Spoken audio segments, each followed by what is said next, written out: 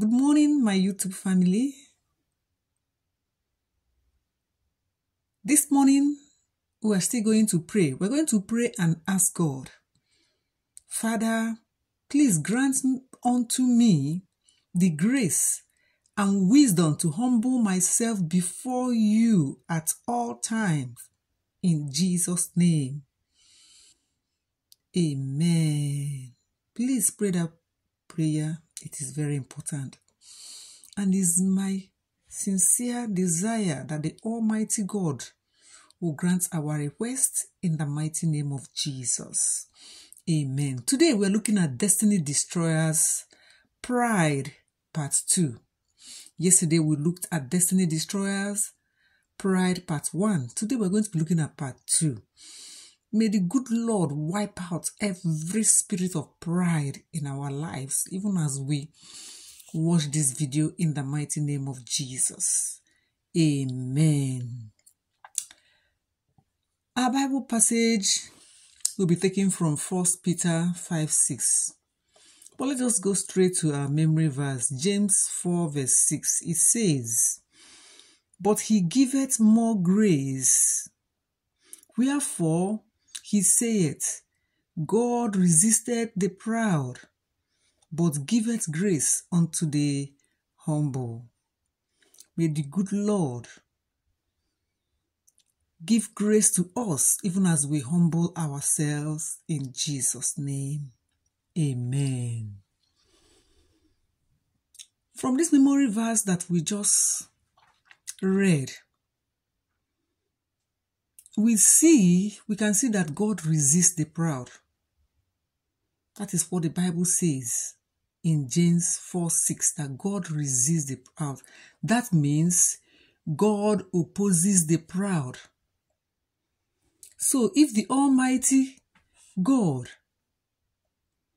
is your opponent, how will you ever win? You can imagine your opponent being the Almighty God. Is there any chance of you winning at all? Beloved, think about it. The major problem of the proud is that the proud people they don't know that they are proud. Or will I say they pretend not to know? Or they claim not to know. They claim they are not proud. Instead, they look for different names some semantics, some more beautiful names to use to describe who they are. Some will say self respect. I have self respect for myself. Some will say self confidence.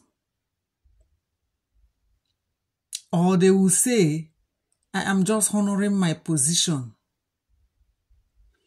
like King Saul did. Saul was asking Samuel to honor his position as the king. In 1 Samuel verse 15, chapter 15, verse 30.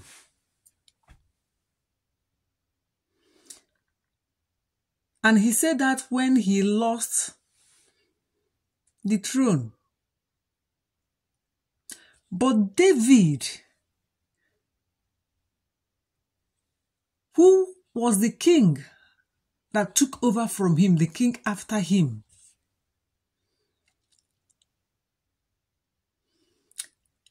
had danced like a commoner. Even though he was a king, he danced like a commoner and was even mocked by his wife, his own wife.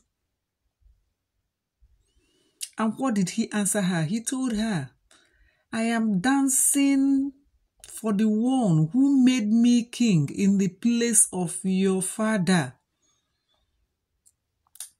2 Samuel 6 16 to 21. Because David was humble, that was why he danced before God like that.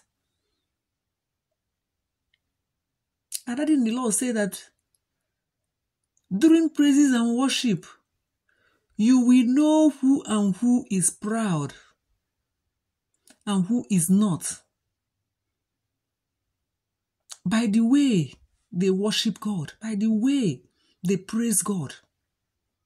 He said, Look at children. Because the children do, are not seeking to protect any position or anything, you see them, they dance and praise God freely. They just praise God, dancing the best way that they can or they know how to.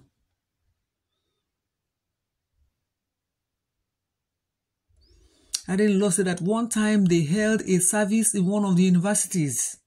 Said that the vice chancellor danced, even danced far more than the students. And God looked at him from heaven and he saw what happened. And he took notes.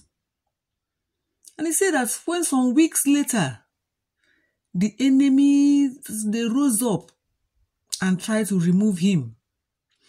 The Lord of hosts fought on his behalf and gave him victory. When you humble yourself, God will fight your battles for you. It is one thing that we need to take note. You humble yourself, God will fight your battle. There is just no doubt, no controversy whatsoever. Humble yourself, and God will fight for you. Praise the Lord. Hallelujah. Other than the Lord also told us the story of one of the biggest program that he ever held, which was Tag Lekki 98. I believe that was the program that started the Holy Ghost Congress. He said that when he got back to the camp, and that night, during his usual prayer work, between 2 a.m. and 3 a.m., he said that he suddenly heard God say, Son, bend down and draw a figure of a man in the sand. He said that he drew the figure. And then God said, Stand up and wipe that drawing, the, what you drew with your foot. He said that he did that. He said, then God said, Son, if you ever forget who is in charge, I will wipe you out, and nobody will ever remember you came into the world. Hmm. That was a big one. So it does not matter how high God has taken you to. He can bring you down with the snap of his fingers. According to Proverbs 16 18, it says, Pride goeth before destruction, and an hunting spirit before a fall.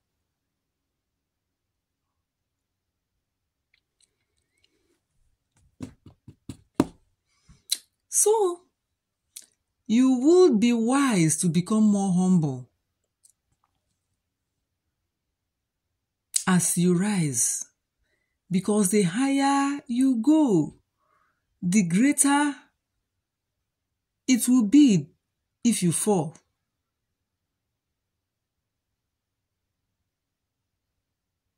So if you become proud when you are high, when you are up there, by the time you fall, it will be that is like Humpty Dumpty in the children uh, rhythm and rhyme. It will be a mighty fall, just like the lament, one of the lamentations in the Bible say, "How are the mighty falling?" That is how good. The mighty fall is different from the fall of an ordinary person. So when you get up there, do not say, Oh, because I have arrived, I am there. What else is remaining? Remember God, your Creator. Humble yourself before Him at all times, and He will be there for you. He will fight your battle and He will not allow you to fall. He will give you grace, abundant grace, even extravagant grace. I pray for everyone watching this video. The good Lord will shower you with extravagant grace in the mighty name of Jesus. Amen. My word today for you is remain humble. Praise the Lord. Hallelujah. Our hymn for today is hymn 10 In Christ Alone.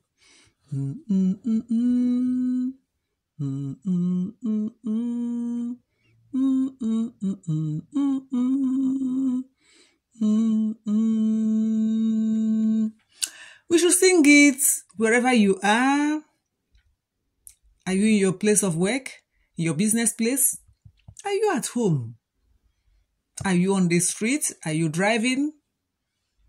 Just continue to sing the hymn to the Almighty God. And He will surely be with you today and touch you at the points of your needs.